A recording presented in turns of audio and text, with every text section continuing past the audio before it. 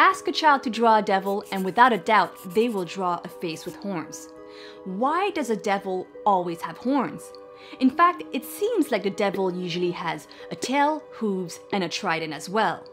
Where do these devil features come from, and why do they also appear on the most important gods of ancient religions? Hi, my name is Sandra and welcome to Chasing Gods. In this video, we're going to discover the origins of the devil's horns. We'll do this by exploring the significance of the horned animal in prehistoric times and in ancient religions, by analyzing the meaning of the horn symbolism, and by investigating how biblical authors viewed the horn during a time when horn worship was commonplace. By the end of this video, you will see that the meanings of symbols often change through time, and that symbols are often demonized as older ways of thinking are torn down in favor of newer beliefs. Since prehistoric times, humans have been fascinated with horned animals. They are frequently depicted in cave paintings that date from at least 30,000 BC. What's interesting about these cave paintings is that although they display similar and repetitive motives, they depict animals more than anything, and they rarely depict human-like figures. For example, in the world-famous Lascaux Caves of France, there's something like 6,000 representations of animals, mainly horses, aurochs, deer, and bisons, and only one human figure, which seems to have the head of a bird. Anthropomorphic figures often had animal components, including horns. By looking at some of these paintings, you might think that they are documenting a hunt. However, anthropologist Abbe Breuil believes that these paintings were actually made prior to a hunt, as sympathetic magic, the belief that drawing an outcome would turn it into reality. On the other hand, Mircea Eliade, a historian of religion, believes that these paintings were a shamanistic activity to connect to the spiritual world. Whatever the reason, animals were of central importance to the primitive humans providing a key source of food and clothing. Our ancestors would observe their behaviors and skills, most of which were inexplicable and unattainable. They were in awe of the animals. Early expert Joanne Westenborn believes that this fascination and curiosity eventually led to the worship of animals in organized religions. Animism is the belief that animals, places, and objects each carry a spiritual essence. Wishing to emulate it, early humans named their children, clans, or family after an animal. That's what totems are about, and it's believed that all human cultures have gone through a period of totemism. Scientist John Lubbock believes that this led to competition and preferences, which eventually turned into worship. The worship of horned animals was especially important to ancient civilizations, perhaps due to milk and domestication, a game changer that happened about 10,000 years ago. Milk offered a lot of nutritional calories and came from cloven-foot mammals such as cows, goats, sheep, donkeys, horses, and reindeer, most of which are prime contenders for domestication. Let's check out these different animals and their associated gods. Cattle were deified by many civilizations, including the ancient Egyptians, the Mesopotamians, and the Hindus. Let's take the female, the cow. Like humans, the cow carries her young in the womb for nine months, and once born, the cow becomes very attached to it. In ancient Egypt, Hathor was the goddess of motherhood, milk, and fertility, and was depicted with cow horns and a sun disk in between. The bull is the male cow and is much larger and stronger. Bulls form a hierarchical organization based on their physical traits, including weight and size of the horns. In ancient Egypt, the sacred bull Apis was the embodiment of divinity, creation, and eternity. He was the son of Hathor and was represented by a real bull.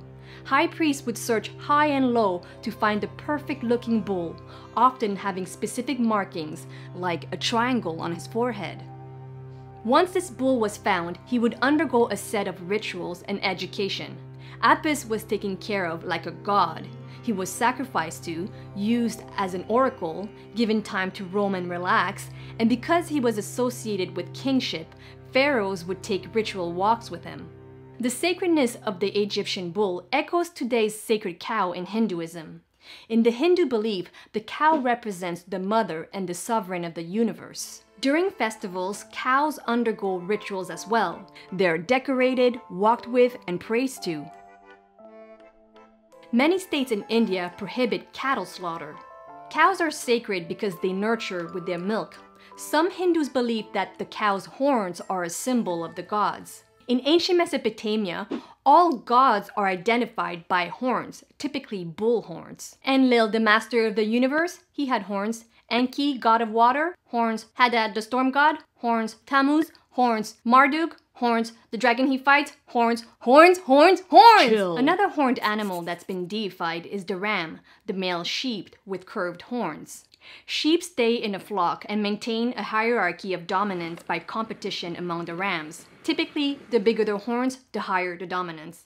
And it's the strongest ram who would mate with the entire group of ewes.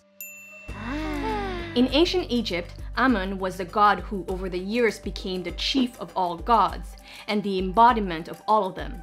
He was sometimes depicted as a ram and was also represented with an erection to express his virility. The ram horns were a symbol of high nobility and rulership. Sources say that Alexander the Great visited the cult of Ammon in Libya and was named the son of Ammon. Later, coins bore Alexander the Great with ram horns.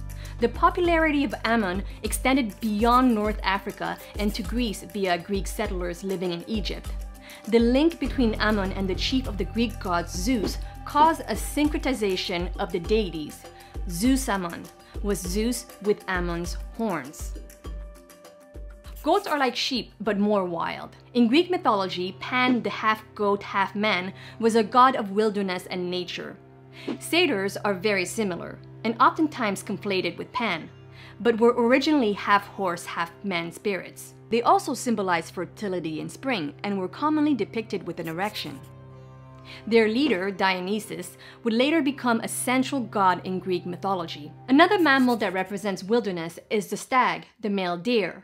The stag actually has antlers, and unlike horns, they shed and renew yearly. Antlers are important. The bigger and heavier they are, the stronger the stag, the higher its social status, and the more successful he is during duels. The winner of duels wins the female's attention and gets to mate. Such animals. The father god of Celtic paganism was Cernunnos, whose name means the horned one. On the Gundestrup cauldron, this antlered deity is surrounded by animals, which indicates wilderness. The snake he's holding symbolizes fertility as well as renewal, as do the antlers. Cernunnos also seems to be sitting in a meditative position. But some have argued this interpretation, saying that he's only sitting like so because Celts didn't have chairs. But how do you explain this? That's Pashupati in a yogic stance on a seal found in Mohenjo-Daro. Hmm, they kinda look similar. Both are horns surrounded by animals, though the seal is a couple thousand years older. Pashupati is an ancient Vedic god whose name means Lord of Animals. Instead of antlers, he has horns of cattle, which is consistent with their status in Hinduism. Pashupati is understood to be linked to the god Shiva, who's often represented in meditation, as well as Shiva's Vedic form Rudra. The three share many similar features, including the trident called Trisula. Since the dawn of civilization, the idea of rulership, the father, the mother, creation and renewal, fertility and nature have been represented by horns. These ideas were looked up to and respected as a powerful, noble force. And then, this happened. The modern characterization of the devil, also known as Lucifer, Satan, or Beelzebub, is portrayed with horns. All kinds of horns. When did this switch occur and why?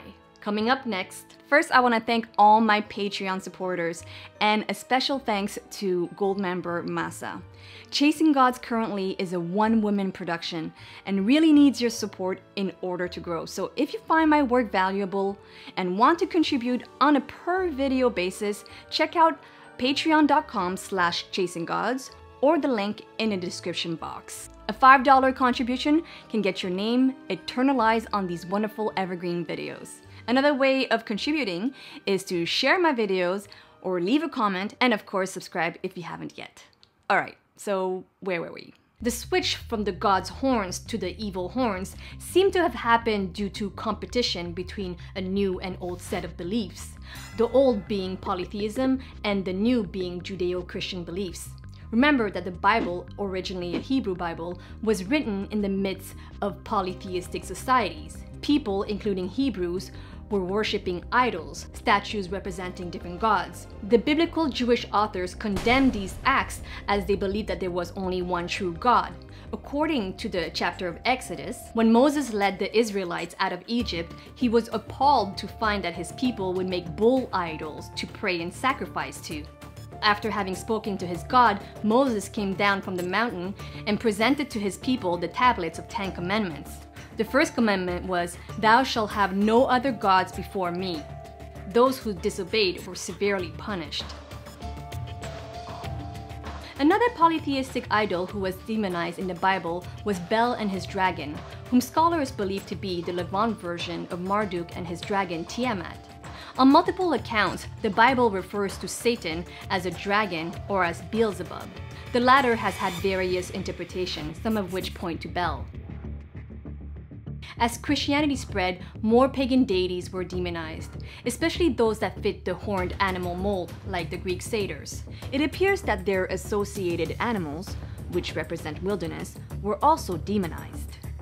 Early Christian art demonstrates satyrs along with numerous animalistic and horned beasts to represent Satan and his demons,